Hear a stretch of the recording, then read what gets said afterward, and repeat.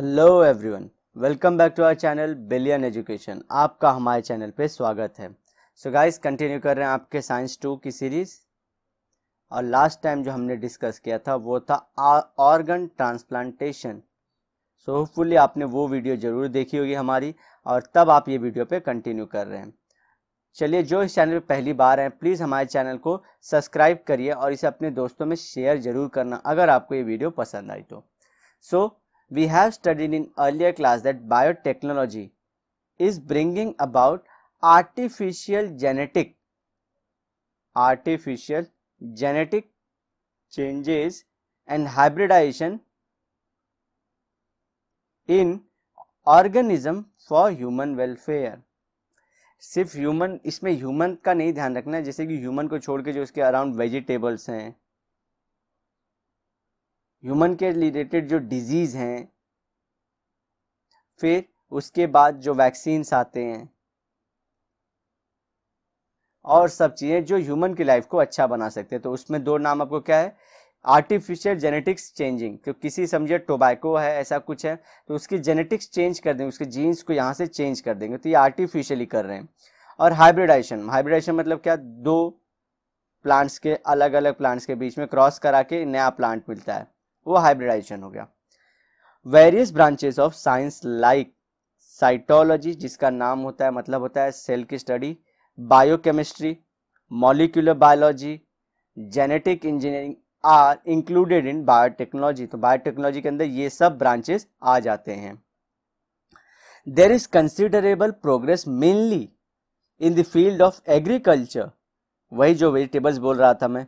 And pharmacy मतलब vaccine और दवाओं बनाने में due to biotechnology new experiments are being perform for way improving agricultural yield मतलब अमाउंट ऑफ़ जो प्रोडक्ट निकलेगा राइस है, पहले 10 किलो निकलता था, अब 30 किलो तक निकल सकता है। ठीक है, इतना ज़्यादा इम्प्रूव करते तो ईल्ड बढ़ाना है। जो पहले सॉल्टी लैंड था सॉल्टी लैंड था, वहाँ पे एग्रीकल्चर नहीं होती थी। लेकिन अब सॉल्टी लैंड पे भी एग्रीकल्चर किया जा सकता है। बायोटेक्नोलॉजी इतना इम्प्रूव हो चुकी है। एग्ज़ाम्पल केरला में। In pharmacy experiments for production of antibodies antibodies क्या होते हैं? जब बाहर से कोई एंटीजन आपके पैथोजन आपके बॉडी में एंटर होता है तो उसके रिस्पॉन्स में हमारी बॉडी एंटीबॉडी बनाती है उसी के शेप का, ताकि वो उसको मार पाए।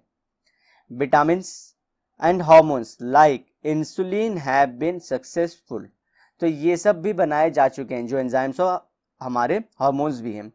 High class varieties of crops have been developed through the techniques of tissue culture tissue culture क्या होता है? लैब में पेट्री प्लेट में कोई टिश्यू ले लेते हैं, फिर उसको क्या करते हैं? बहुत दिनों तक वो सुटेबल मटेरियल न्यूट्रिएंट देके उसको टिश्यू को ग्रो करते हैं। इसे बोलते हैं tissue culture bad technology includes following main areas कहाँ कहाँ पे यूज़ हो रहा है?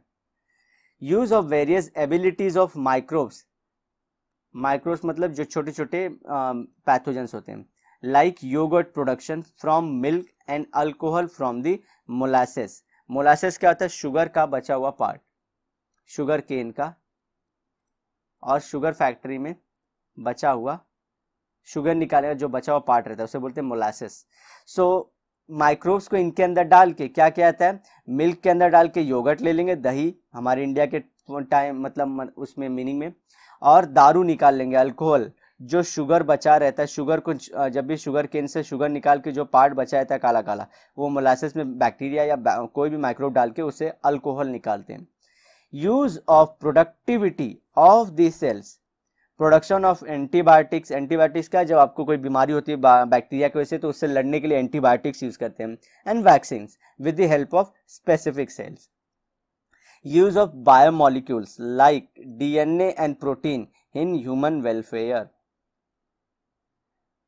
DNA को यूज़ करके क्या कर रहे हैं? आजकल लैब में थ्री प्रिंटिंग के थ्रू नया ऑर्गन बना रहे हैं। तो किसी को दिक्कत है ऑर्गन की किसी तो ये सीधा कोई डोनर ना भी रहे। तो ये जो लैब में बनाया ऑर्गन ये ट्रांस हम लोग ट्रांसफ़र कर सकते हैं। और बहुत सारी चीज़ें जहाँ पे डीएनए को यूज़ करके, जैसे डीएनए फिंगर प्रिंटिंग हो गई, ये सब चीज़ों से हम लोग बहुत सारी चीज़ें पता कर सकते हैं। Development of plants animals and products of desired quality जो क्वालिटी चाहिए बाय जीन मैनिपुलेशन जैसे कि पहले कोई अगर प्लांट था, किस पे कीड़ा बहुत लगते थे, उस पर जर्म्स अटैक करते थे, लेकिन एक दूसरा प्लांट है, जिस पे वही जम्स नहीं जाते थे तो क्यों? क्योंकि ये कुछ ना कुछ रिलीज़ करता था केमिकल सो क्या करने का? ये दोनों प्लांट के इसके जेनेटिक्स को इसके अंदर डाल देने का तो ये प्लांट सेम ही रहेगा, सिर्फ़ इसके पास अब कीड़े नहीं आएँगे. तो जीन मैनिपुलेशन करके हमने वो चीज़ अचीव कर लिया, जिससे क्या होते हैं जर्म्स और इंसेक्ट्स दूर रह रहे हैं. Production of human growth hormone human growth hormone मतलब जिससे आपकी हाइट बढ़ती है, वो सब। With the help of genetically modified bacteria. ठीक है? बैक्टीरिया के उसके हेल्प से भी ह्यूमन ग्रोथ हार्मोन को प्रोड्यूस किया जा रहा है। आर्टिफिशियली फिर आपकी बॉडी में इंट्रोड्यूस किया जाता है, जैसे कि इंसुलिन को यहाँ पे पढ़े थे। Use of genetics and non genetics techniques. Non genetic biotechnology involve use of either, cell और tissue. Tissue culture, production of hybrid seed, जो मैंने बताया था मिक्स करके। तो जेनेटिक वाले में क्या होगा? जेनेटिक बायोटेक्नोलॉजी में जीन्स पे काम करते हैं, डीएनए और जीन्स पे काम करते हैं, ठीक है? ये सब के बारे में मैंने अपने पास्ट वीडियो में बहुत डिटेल में बताई है। इतना रिपीट नहीं करना चाहता मैं बार बार ठीक है? बेनिफिट्स ऑफ़ बायोटेक्नोलॉजी क्या होते हैं? It has become possible to increase the per hectare yield irrespective of the limitation of the crop land area crop land area मतलब अगर समझिए पहले यही एरिया था, एक हेक्टेयर का, यहाँ से जो मैंने बोला दस किलो, अब तीस किलो निकल जा रहा है। और इरिस्पेक्टिव ऑफ़ लैंड एरिया कि लैंड एरिया बढ़े चाहे ना बढ़े इतने में से ही तीस निकाल रहा है। पहले क्या होता था लैंड बढ़ाते थे तो चलो दस से बीस हो गया, लेकिन ये अब इतने ही लैंड में से तीस निकाल रहे हैं। Expenses on the disease control have minimize since development of resistant varieties so पहले बहुत ज़्यादा अगर बीमार मलेरिया हो जाता तो बहुत खर्चा हो जाता था फैमिली का। अब कुछ नहीं है तो नॉर्मल सी ड्रग आ गई है इजीली डॉक्टर के पास जाके कंसल्ट करके ले लीजिए, सस्ते में हो जाता है और आप ठीक हो जाते हैं। Due to development of fast fruit setting varieties, yield per annum has been increase मतलब क्या फ्रूट आज तोड़ा है? तो एक हफ़्ते में ये सड़ जाता था। अब इसके अंदर थोड़े से चेंजेस करके इसको दस या पंद्रह दिन तक बढ़ा रहे हैं तो भी ये बहुत है। आपको लोग लग रहा है कि सिर्फ़ सात ही दिन तो बढ़ा है, लेकिन ये फ्रूट्स के लिए बहुत बड़ी चीज़ है। Development of stress resistant varieties with which can withstand variety, variable temperature, water stress, changing fertility of soil etc has become possible कोई सीड थी जिसको पानी बहुत चाहिए था वाटर अब क्या इसके अंदर जेनेटिक चेंजेस करके वाटर की रिक्वायरमेंट कम कर देंगे? कोई सीड था जो हाई टेम्परेचर या लो टेम्परेचर बहुत ज़्यादा टेम्परेचर या बहुत ज़्यादा लो टेम्परेचर ठंडी हो तो ग्रो नहीं कर पाता। तो इसके अंदर जेनेटिक चेंजेस करके इसको कम कर दिया। अब नॉर्मल टेम्परेचर में कोई भी टेम्परेचर चाहे हाई रहे, चाहे लो सब में ग्रो हो जाता है। सॉइल की फर्टिलिटी मतलब उसको हमेशा फर्टिलाइज़र बहुत चाहिए रहता था सॉइल में। ऐसे सीड तो, तो सीड क्या किया हमने थोड़े से इसमें जेनेटिक चेंजेस किए फर्टिलाइज़र कम हो गया भले सॉइल में ज़्यादा नरिशमेंट ना रहे फिर भी ग्रो हो जाता है।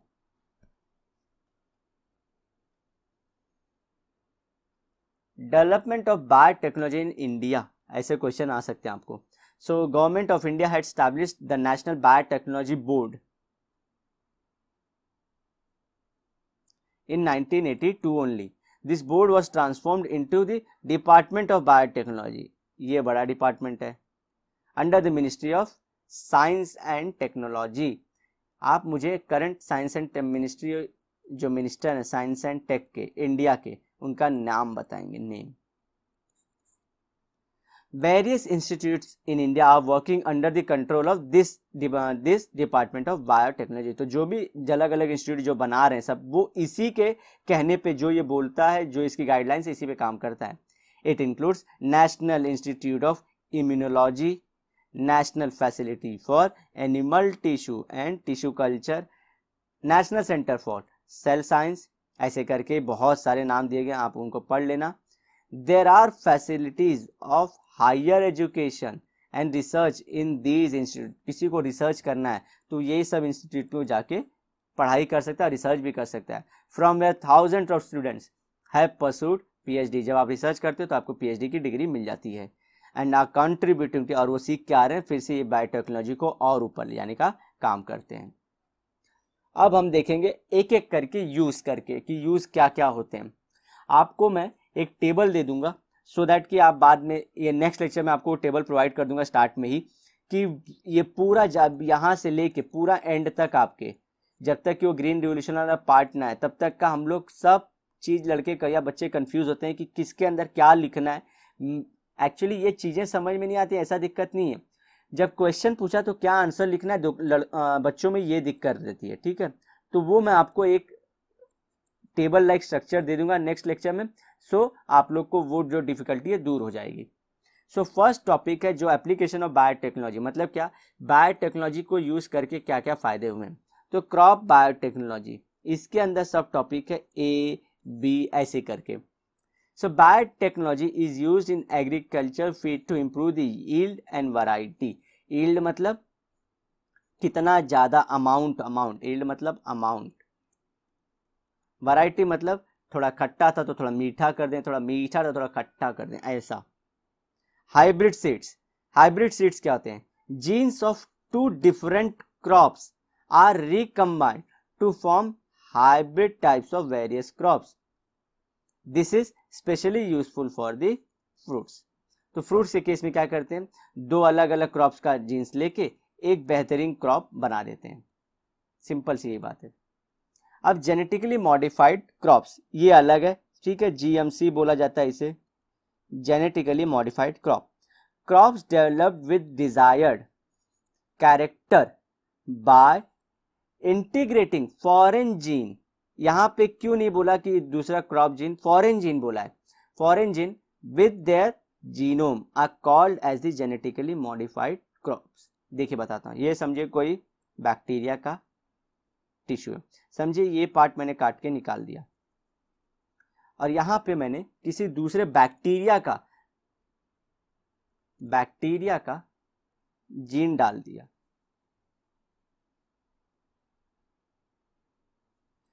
ये क्या था? क्रॉप था। ये क्रॉप पे समझो कीड़े लग रहे थे, इसको इंसेक्ट अटैक कर रहे थे। लेकिन एक बैक्टीरिया है जिसके अंदर एक केमिकल रिलीज़ होता है जो केमिकल दूसरे इंसेक्ट को मार डालता है या तो दूर रखता है। तो मैंने क्या किया? मेरे को क्रॉप यही रखना था। मेरा समझिए ये मेरे को लेना है, मैं लेता हूँ कॉटन क्रॉप कॉटन के क्रॉप में कीड़े लग जाते हैं। बुलवम वाइट बुलवम लग जाते हैं। सो मैंने क्या किया?